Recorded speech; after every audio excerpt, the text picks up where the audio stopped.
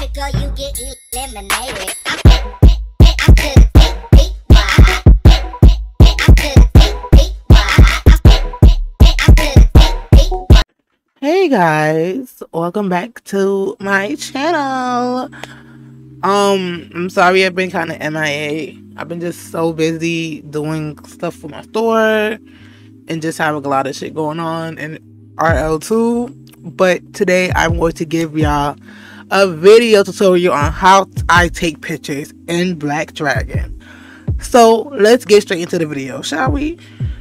Okay, so I know a lot of people may not know where to start when it comes on to Black Dragon. I know when you go on to Black Dragon or download Black Dragon, my interface may look different from yours. So I'm gonna really start with like a little bit of the basics of the interface, like you know, all this good stuff, all these icons and all that stuff. So what I usually do is most of the time when you go on Black Dragon, you'll see all the icons here. That looks ugly to me. Hate it. I'm used to like being on Firestorm and all that stuff, so I like my icons to be at the bottom more than the top. Other people's like they're at the side. You know, it's your preference. Yo, yo, yo interface, yo shit not my shit. This how I like my shit. This how I'm going about my shit. So yeah, um, the way how you go about like moving the icons around, you just simply pick it up. You see with the blue corners, you just put it where you want to go. Like if I want to put my water sign here, want to put my preference up here, you know, shit like that. Um, how you add icons now is you simply right click, go to toolbar, and it will give you option of buttons you can put that's you know whatever floats your boat. I put the ones that i feel like i use the most and what's more important to me which are all of these here. I use all of them for like my daily things if i want to do I, I mean black dragon isn't really my main viewer but i this is what i have for it when i am using it because these are all the settings i would mainly use when i do come on here. Um you have other settings too like um that you would really need such as like the mashar how you pronounce this shit? The Mache bar? I don't know how to pronounce it. I'm being with y'all. Don't come for me. This, this sidebar is what we're mainly going to be focusing on in this video. It is very important when it comes down to your lighting, you know, the depth of field, you know, light, you know, camera angles, all that good stuff, how it rendered properly and all that stuff. Most of the time when I do come on Black Dragon, I turn this off. As you can see, the quality has changed tremendously. And that's because when you turn this off a lot of stuff isn't rendering as much as it should. It's like if you're on a firestorm and you have your advanced lighting on and stuff starts to load slower that's because it's trying to pick up like all that high that high like high resolution while it's loading. But when you have it off it's more easier to like load faster and quicker without any issues. But most of the time I turn this on just to like load faster then I'll turn it back on. Or I'll turn it off if I'm trying to like angle my picture and it's pretty laggy where I'm at type of thing but that's how I usually do it. I just turn it off turn it off I feel like if you're like a person who has a really laggy PC or you just lag all the time, it's better to just automatically come on here, turn it off, and just make sure you load properly and all that. And only turn it on when you know you're ready to take your photo and stuff like that. Because if you have it off, you're unable to use all these settings here because all these settings here are mainly what it needs to be used to see how it looks good here. So I hope that makes sense. Hope I'm not just talking my ass off about that part. But anywho, thing that people may not know about Black Dragon is your graphic settings, which is kindly up here.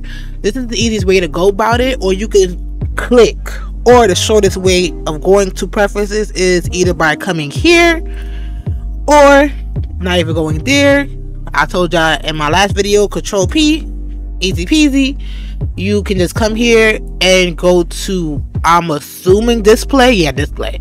You go to display and you know you set set up your um your graphic settings how you want to. Make it cute make it nice and then you save it.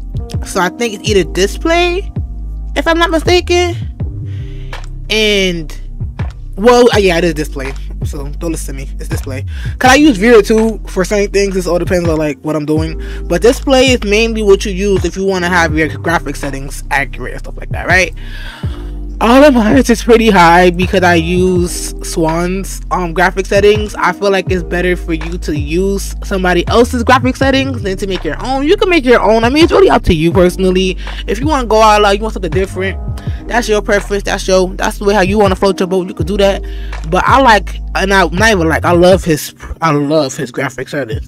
Um I have the ones that he made last year. He made he recently just made one this year that I fell in love with so so so much. Um most of the time I would just click on certain ones and most of his settings it uses like depth of field, which is why my screen is so blurry. Um but other times they don't. It just all depends on how you want to take your photo and stuff like that. You know, I have a lot of graphic settings here. It really all depends on my vibe and what I'm trying to go for in my picture type of thing. But graphic things are what what makes your photo to me pop more. Like the quality of your graphics matters a lot when it comes down to your photos. So I would say I'm gonna link all the ones that I have here below in the description so you guys can just see it and how to play around with it and I may do another video on how to like upload the presets but I may most likely for the meantime just give you other alternative on how to upload the graphic presets because it's more fast and easy so you can just get out the way. So yeah it's very very important that you have to use these to make sure your photo is perfect. Perfect perfect perfect. Okay cool. So how I got this menu right here because you're like how does menu pop up and I don't know how where to go right so you either go to Dragon, my useful features, shortcuts, and then most of the time what I will do when I do this is, like I said, just goes to Dragon, my useful features, shortcuts. I will click this line that's highlighted right here and I will pull it out and drag it here. So that you can just have it you know it's easier for you. You don't have to keep going back back and forth back and forth back and forth. Um that's how i usually do it. Um now, when it comes down to taking pictures, right? Let's say if you wanted to take a picture like this, you know, it's a nice angle. Nothing really wrong with it. But I feel like we could do better, you know. We're trying to be professional, trying to take pictures nicely. Um, what I will do is I will use control zero. I will do it about 10 times. So I usually will count 1, 2, 3, 4, 5, 6, 7, 8, 9, 10. I will angle it the way how I would like it to, you know, angled pretty nice, pretty cute. Boom. I look cute, pretty, nice, whatever.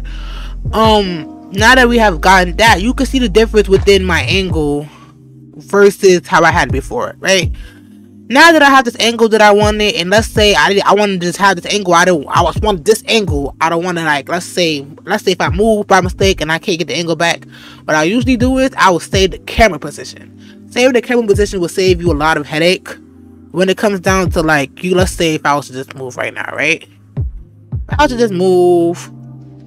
Oh, I fucked it up. Oh no. I could just easily load it back and it goes back to the same position, right? You're probably like, oh my god, I didn't know that. I learned something new. I know, right? Um, most time you also lock your camera position too.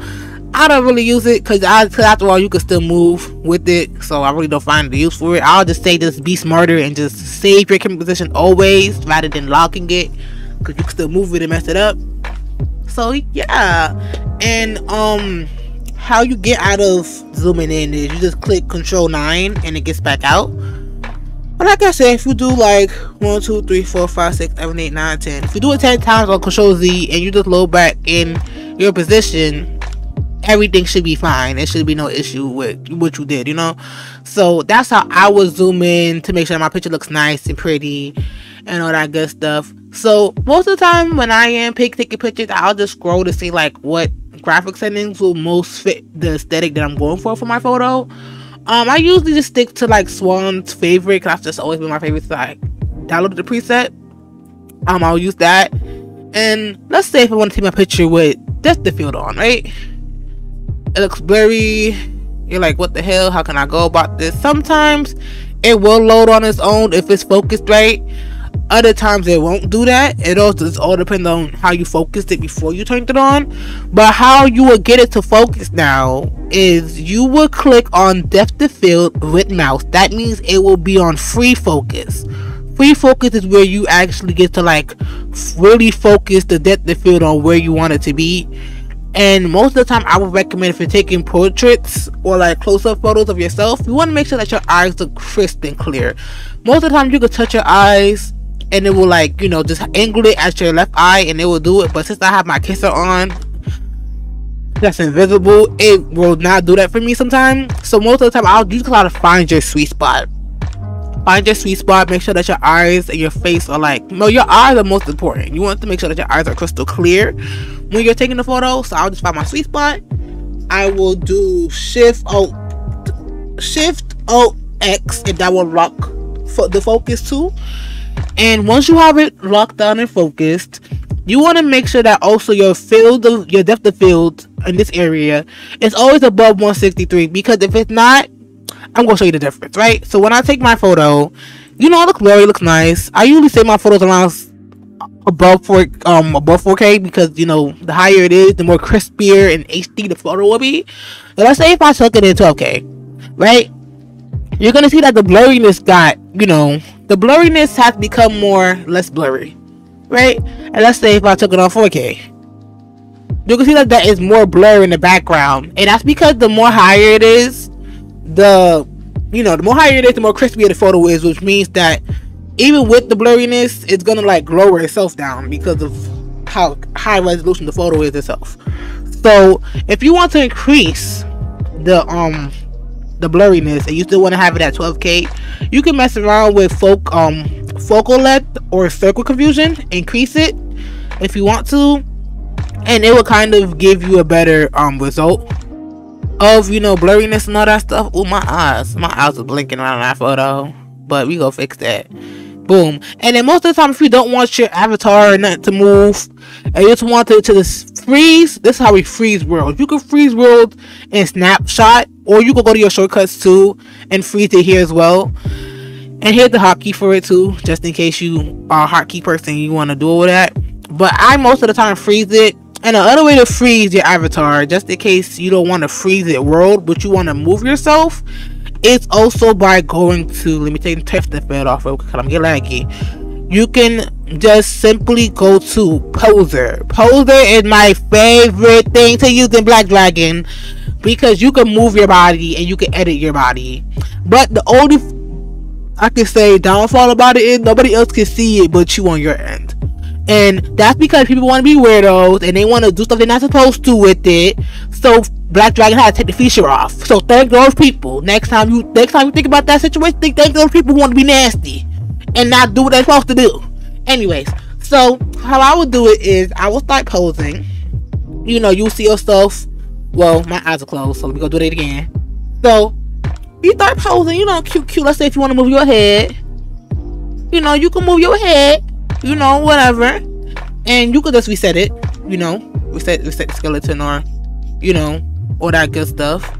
And you know, you can move you can move your head how you want to. I would say if you want to do facial expressions, do your facial expressions first and then start posing because it's gonna be more easier for you to like, you know, move move how you want to move and all that stuff. Rather than, you know, you doing it because once you're in poser, let me just be clear. Once you're in poser, you can't really do nothing else in poser. It's like it freezes your whole body. And you can only do what you're doing in the moment in poser. And once you leave poser, it's gonna restart everything. You have to start all over. So I would say work smarter, not harder. Do what you do what you need to do facial expression wise first. And then do everything else after like then lower my my um you know, I will lower the two I told you about earlier, the focal length and the circle confusion, because it doesn't really it doesn't really need to be this super high when you have the high quality depth of field on, because it's gonna really like you know do its thing or the case may be. But I'm gonna turn it off for a few minutes to like just lower this setting down because as you can see like i really can't do anything with it on um that's why i said if you know your pc can't handle it won't recommend you turn it on for any type of sake. Um, it's gonna just make you super laggy for no reason and most likely end up crashing on you type of thing. And most of the time when you do have this on, all of this doesn't really need to be on like a high crazy setting, right? Because it's gonna be blurry and stuff either way. So as you can see, like I'm gonna take it to 12k. It still looks pretty good. You know, this is the type of angle I would like, type of thing. So once we take it, make sure my eyes on the camera. Boom, like I, I look good. I look real nice. I look sexy. I like that. I look real good. I look nice. Yeah. So that's how you would like want to do it when it comes down to um high quality depth of field. Like I said, only use it if you know your PC can handle it. Don't try to be like me or a person who got a semi good PC who can use it, and then you come in the comments talk about, oh my PC kept crashing when I kept using high. I, I did not warn you before not to use it. I did, so don't use it. If I told you don't use it and you know you can't handle it, Dell laptop 2015, Zozu it, baby, Zozu it all right wind lights and how to like you know adjust your wind lights and all that stuff. Most of the time i'll go to sky editor. That's like the main one i feel like is more essential to use when you want to change your wind lights on black dragon. I have a lot. I imported them you know manually and stuff like that so i have a variety of them. Um you know you just change your wind light. It was you know will change your wind light is very important when it comes to your photos because some wind lights are better than others.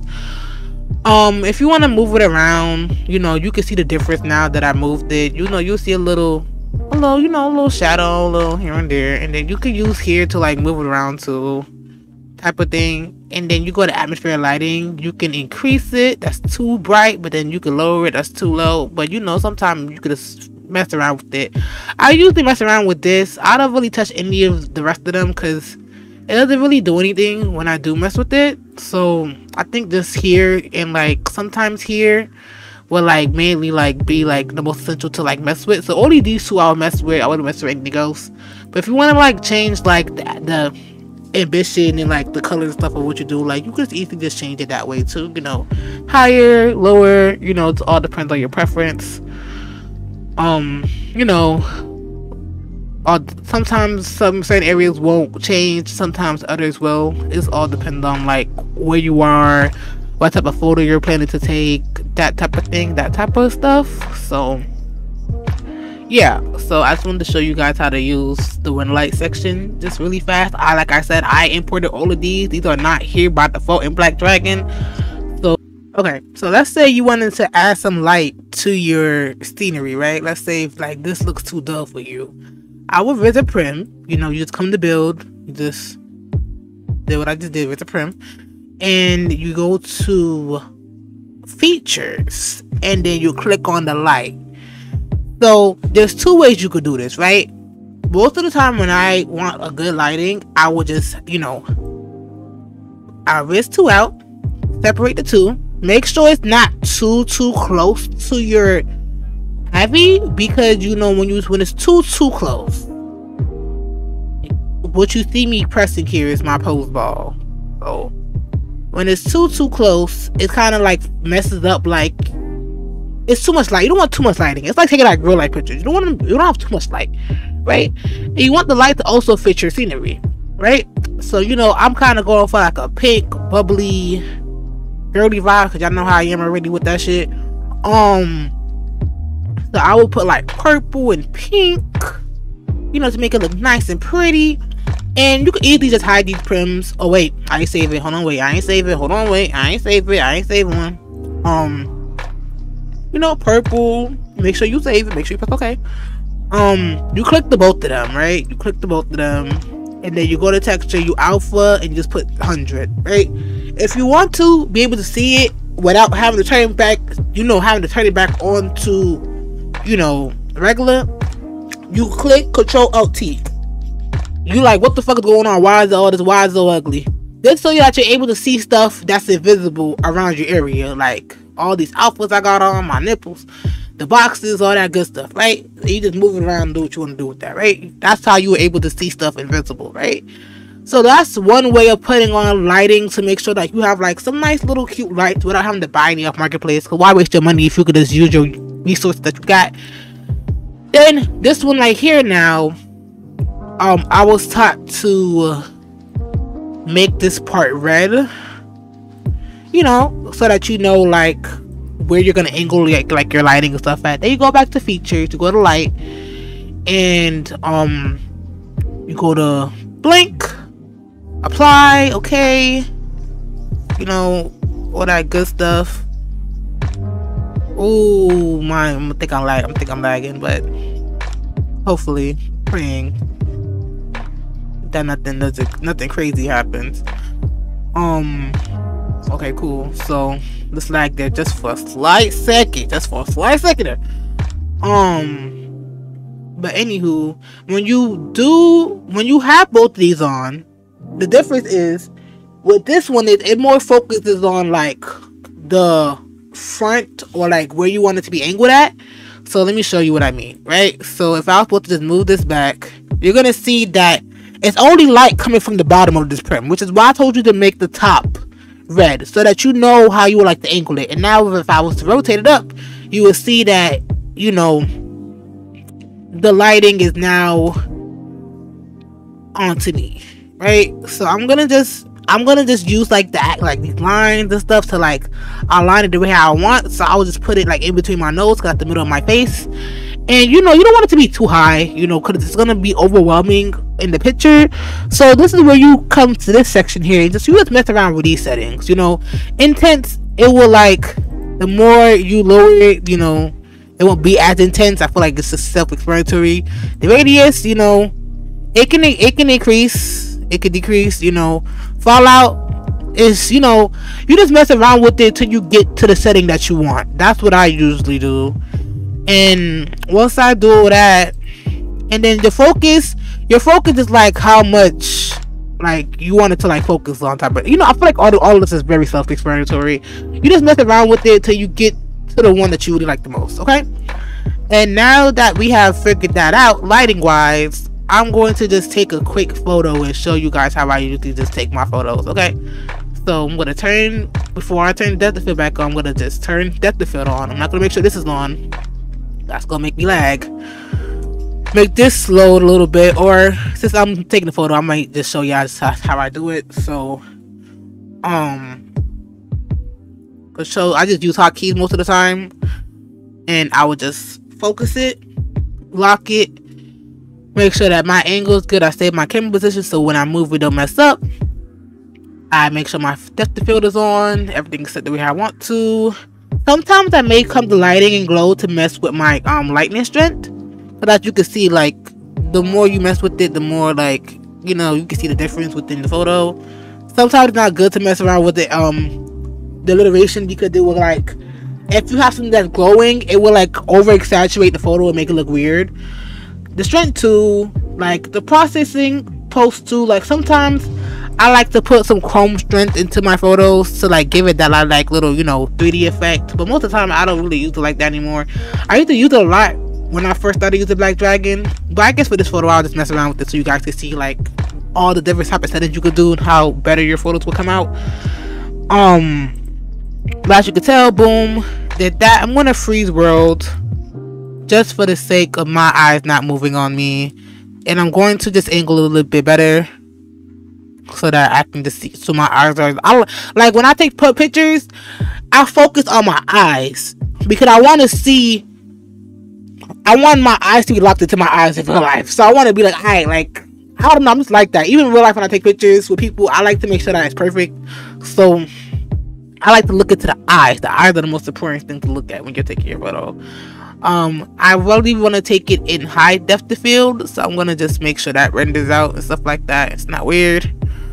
Um, if it is acting stupid, I usually just get off. I just I just unlock it and I just try to find my sweet spot again and I relock it again.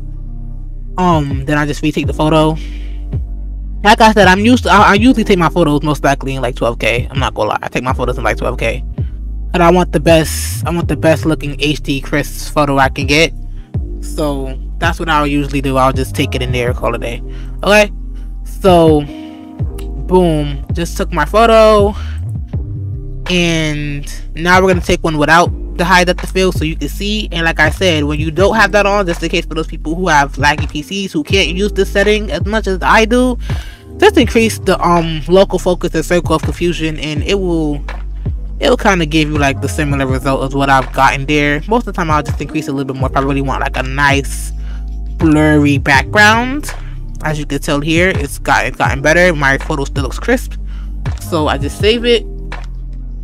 And yeah, you know, look cute, look nice, look cute, look nice.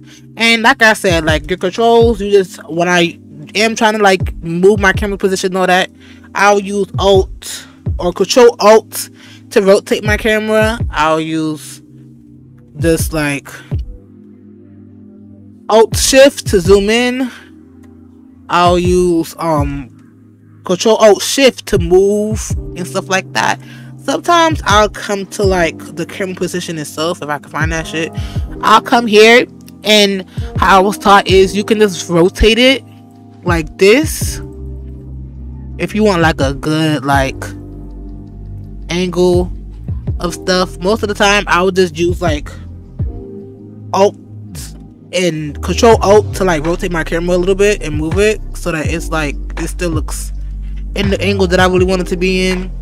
And like i said sometimes when you move it it does and you have like if you locked your camera position with the field on you may have to like unlock it and refocus back when you move your camera because you know it's locked in that position when you had your camera in the first time. So it's good to just just move it and focus to somewhere else so that you know you have the best clearest picture possible.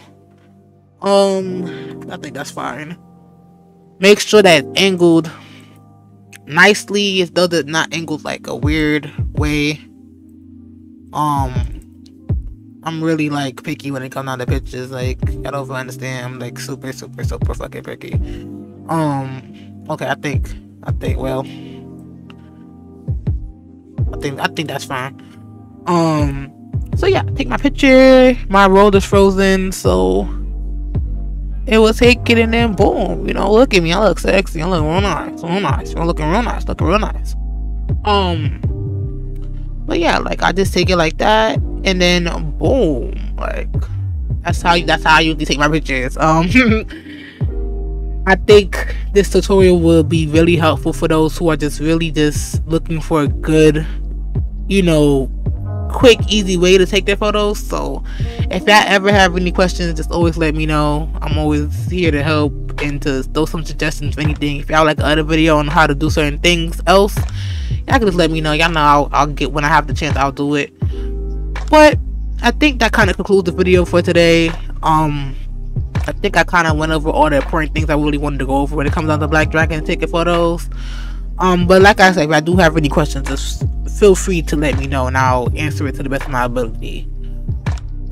Um, this was so great. It was real nice, and I am excited to see all your progress and to hear how it goes out for everybody. So, thanks for taking the time to watch it, guys. I've truly, truly, truly, truly love all of you. Appreciate all of you, and I will see y'all next video. Peace.